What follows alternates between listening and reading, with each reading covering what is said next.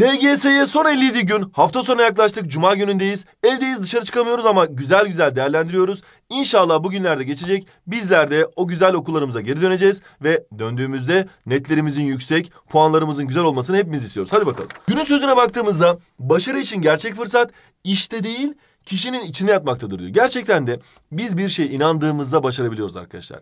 Yani LGS kolaymış, konuların yarısı varmış, LGS zormuş, konuların bunlar hiçbir önemli değil. Önemli olan bizim inanmamız. Biz inanırsak başarırız. İster tüm konular olsun, ister zor olsun, ister konular kolay olsun hiç fark etmez. Biz inandığımız sürece hiçbir şey bizden kurtulamaz. Günün yorumuna baktığımızda isimsiz kahraman gerçekten isimsiz bir kahramanmış kendisi. 389 beğeni almış. Başlayalım.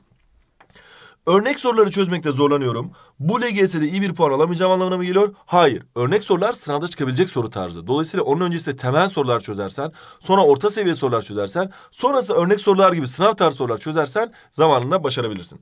Motivasyonum düşüyor ne yapmalıyım? Arkadaşlar motivasyonumuzun düşmesi çok normal bir şey. Çünkü çalışıyoruz. Çalışıp da hemen taktiği sonucunu alamayınca insanın zaten morali bozulur.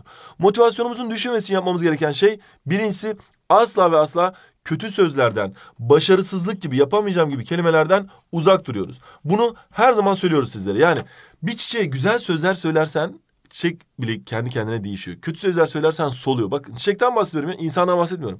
Bizler de kendimizi her zaman yapacağım, başaracağım diyeceğiz ve motivasyonumuzu artıracağız. Zaten üç de güzel haberimiz var. Bunu her zaman söylüyoruz. Kontenjanlar artırdı yüzde üç.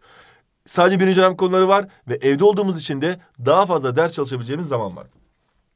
Çalışıyorum ama kendimi çalışmamış gibi hissediyorum. Ne yapmalıyım? Bu gerçekten gayret gösteren öğrencilerin hepsinde vardır. Hani yazılıya çalışırız çalışırız. Tam yazılıya gireceğimiz zaman eyvah her şeyi unuttum. Hiçbir şey çalışamadım galiba falan dersin. Veyahut da LGS'ye gireceğimiz gün bile her şeyi unuttum ya. Neydi ya Türkiye ne olmuştu falan böyle bir anda hangi yıldayız falan diyesiniz gelir. Bu çok normal bir şey. O kısa bir süre sonra bir tane soruyu doğru yaptığınız zaman tekrar her şeyi hatırlar devam edersiniz.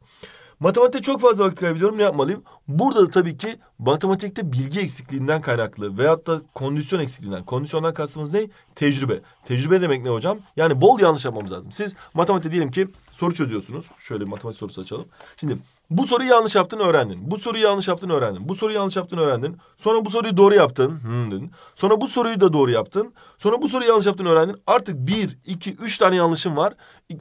Çoğunlukla yanlış yapmış oluyorsun ama bir şeyler öğrenmiş oluyorsun. Bir tecrübe kazanıyorsun. İşte tecrüben arttıkça ya bu gene aynı şey yapacak deyip daha hızlı sürede, daha kısa sürede çözebilirsin. Denemeleri süresi çözersek bir şey olur mu? Tabii ki şu anda eğer elinizde eski denemeler varsa onları süresi çözün. Ama yeni tarz denemeler varsa mesela bizim geri sayım denemelerimiz gibi, hızlanma denemeleri gibi o zaman tabii ki süreli çözelim. Çünkü bakın her denemeyi, her denemeyi sınav simülasyonu yapmanız lazım. Simülasyonu gibi çözmelisiniz. Bu ne demek hocam? Bu şu demek. Yani siz gerçek sınava girdiğinizde yanınızda cep telefonunuz olacak mı? Olmayacak. E, uçak modunu aldım. Hayır. Uçak modu falan değil. Telefon dışarıda olacak. Gerçek sınavda öyle. Her denemeye girdiğinizde işte anneniz arada bir meyve tabağı getiriyor. Hayır öyle bir şey olmuyor. LGS'de buyur yavrum birazdan mandalina. Yok öyle bir şey. Her deneme girdiğiniz yanınızda suyunuz olacak, sürenizi ayarlayacaksınız, telefonunuz dışarıda olacak ve ciddi bir şekilde süreli çözmeniz lazım.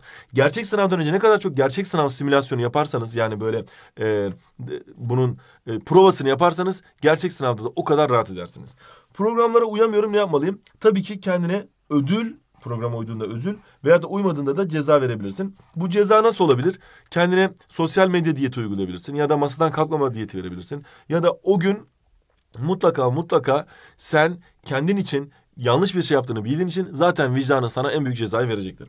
Yenisiz soruları çözemiyorum ne yapmalıyım? Yenisiz sorularla alakalı direkt yenisiz soruya geçmiyorduk arkadaşlar. Bunu söylüyoruz. Mesela diyelim ki ilk başta ilk başta temel soruları, sonra orta seviye soruları, sonra sınav tarzı soruları çözüyorduk arkadaşlar. Çünkü yeni sorular biraz daha okumaya dayalı. E, tabii ki inkılap İngilizce bu kadar zor değil ama matematikte bilhassa, Türkçe'de de belki o kadar zor değil ama matematikte birazcık bizi zorluyorlar. Bu süreçte düzenli bir çalışmayla puanımız ortalama kaç puan artar? Bilemiyorum. Şu anda 400 puandaysan 450'lere çıkabilirsin. 480'deysen 490'lara çıkabilirsin. Fark eder. Her nete göre, her puan durumuna göre değişir. Ama inanılmaz bir sıçrama yapabilirsiniz. İkinci dönem yazıları olursa ikinci dönem konularından mı olur? Hayır. Yani ikinci dönem yazıları olursa, okul açılırsa tabii ki ikinci dönem konularından olur. Ama eğer... Ee, Okullar açıldı. Okullarımıza geri döndük. Sınav soruları önümüze geldi. Çözüyoruz. Böyle inanılmaz zor, bizim puanlarımızı düşürecek bir yazılı yapılmaz. Orada mutlaka bizi rahatlatacak, bize bol e, notların verildiği, bizi motive eden yazılar yapılır. Endişelenmenize gerek yok. Zaten Milli Eğitim Bakanlığı dedi ya ilk teneffüs bile 15 dakika olacak dedi. E, hatta yarım saat mi olacak öyle bir şey dedi. 405 puan alan birisi LGS'de 480 almak için günde kaç soru çözmeli? Burada tabii ki en az 250 soru çözmeli diyoruz. Bunların çoğu da yeni nesil olacak. 83-85 net yapan birisinin LGS full yapmak için günde kaç soru çözmeli? Burada da en az 300 soru çözmeli. Çünkü neden? 385 net zaten çok yüksek bir net. 90'a yaklaşması için biraz daha fazla gayret göstermesi gerekiyor. Yani 10 net yapan biri 20 nete çıkması için fazla çalışmasına gerek yok. Azıcık bir soru çözse bile hemen artar. Ama 85'ten 86'ya, 86'dan 87'ye artık zirveye yaklaşıyorsun. Zirveye doğru çıktıkça daha daha da eğimli hale geliyor. Türkçe full yapmak için ne yapmalıyım? Ee, pardon. 440 e, 440 puan alan birisi günde 150 soru yenisi soru çözerek 500 puana ulaşabilir mi? Ee, gerçekten verimli bir şekilde çözerse 500 puan ulaşmasa bile buna yaklaşabilir. 500 puan gerçekten zordur tam puan almak. Burada dikkatli etmek gerekiyor arkadaşlar. Ee, Türkçeyi full yapmak için ne yapmalıyım? Arkadaşlar Türkçeyi full yapmanız için yapmanız gereken şey bol bol kitap okumak ve mutlaka bol bol paragraf sorusu çözmek. Daha yeni ders çalışmaya başlayan birisi fen lisesini kazanabilir mi? Belki okuldaki fen lisesini değil ama e, şeyde kazanabilir. Nedir onun adı? Eee e, pardon okuldaki diyorum devlet fen lisesinde değil ama özel fen liselerinden burs kazanabilir ya da e, yüzde elli burs kazanabilir. Çünkü yeni ders çalışmaya başlamış yani daha çok e, geç kalmış diyebiliriz. Ama e, mesela İzmir Fen Lisesi'nin yeni ders çalışmaya başlayan birisi zor kazanır. Ankara Fen Lisesi'ni zor kazanır. Ama zaten mutlaka şu ana kadar yazılara girdik, videoları izledik, bazı denemeler çözdük, bazı sesler çözdük. Yani tamamen de sıfır değiliz ama sıkı sıkı yeni çalışmaya başladıysak kazanabilir. Ramazan ayında nasıl çalışmalıyız? Ramazan ayına geldiğimizde bununla alakalı sizlere rehberlikler yapacağız. Kreş öğretmeni olmak isteyen biri hangi liseyi hedeflemeli? İstediği her liseden kreş öğretmeni olabilir. Fen lisesi okumasına bile gerek yok. 410 çünkü fen lisesi bayağı ağır kreş öğretmeni için. 410 puanlık Anadolu Lisesi'ni kazanmak için geç mi kaldık? Hayır kazanabilirsiniz. Motivasyon şarkısı bölür müsünüz? Geliyor arkadaşlar şarkımız hazır. Kontenjan için belli bir puana ulaşmamız mı gerekiyor? Ee, tabii ki yani herhangi bir liseye girmeniz için bak eskiden diyeyim, sınava 100 kişi giriyor. Bir okul 10 kişi alıyor diyelim ki. En iyi 10 kişi bu okula yerleşiyor. Geri kalan 90 kişi kazanamamış oluyordu. Şimdi kontenjanı artırdılar. 10'dan 15'e çıktı. E şimdi sınava da 100 kişi giriyor diyelim ki daha fazla kişi giriyor olsun. Bu 100 kişiden artık e, 85 kişi dışarıda kalacak. Yani 15'i o okula yerleşmiş olacak. Dolayısıyla kontenjan artışı bizim için önemli. Ama biz yine sıralamamızı iyi yapmamız lazım. Haftada 4000 soru çözebilir miyiz? Çözersek kaç puan alırız? 4000 soru hemen hesap makinesini kullanayım şöyle. 4000 soruyu hemen hesaplayalım. 4000 e, bölü 7 eşittir 571 soru çözemezsiniz. Kesin verimsiz olur. Bu biraz atmasyon olmuş. Ee, korona vakalarının sayısı her geçen gün artıyor. LGS'nin erteleme ihtimali olabilir mi? Olabilir. LGS ertelense bile bir iki hafta sonra veya bir ay sonra ertelenir. Dolayısıyla sizin çalıştığınız emekleriniz boşa gitmez ve konular yine sadece birinci dönem konularından çıkar. İnşallah ertelenmez. Bizim temennimiz, dileğimiz, isteğimiz e, bu. İnşallah ertelenmez ama ertelense de konular sadece birinci dönem olacağı için biz çalışmaktan vazgeçmiyoruz. LGS'de hangi dersten zorlayacaklar? Matematikten. İngilizce nasıl düzeltebiliriz? Kelime ezberleyerek. Eski kimlikle LGS'ye girebilir miyiz? Evet. Ee, çok eski değil olmak. Çok yani böyle bin, milattan önce kimlik olmamalı. İstanbul Cağaloğlu Lisesi'ni tanıtacağız.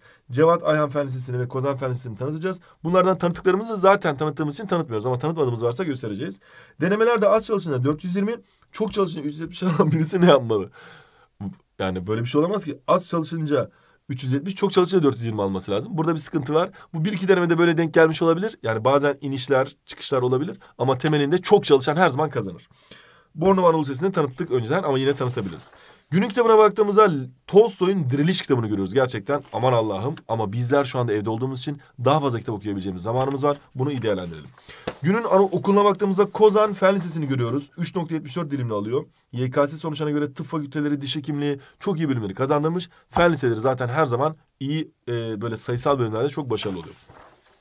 Günün kaynağına baktığımızda sadece birinci dönem konularını içeren TOST 1, TOST 2, TOST 3 ve TOST 4'ü görüyoruz arkadaşlar. Bunlar gerçekten sizler için çok e, değerli, özel olarak hazırlanmış kitaplar. Neden? Hemen şöyle göstereyim. Mesela ilk başta temelden başlıyor, sonra orta seviye sorular var. Sonra sınav tarzı sorulara geçiyor. Bir anda bunu çözemeyeceğinizi bildiğimiz için sonra sınav tarzına geçiyor. Ama sınav tarzları da bayağı kazık, onu da söylemek istiyorum.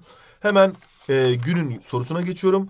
Direkt fen sorusu. Tek yumurta ikizlerinde genetik yapı aynıdır.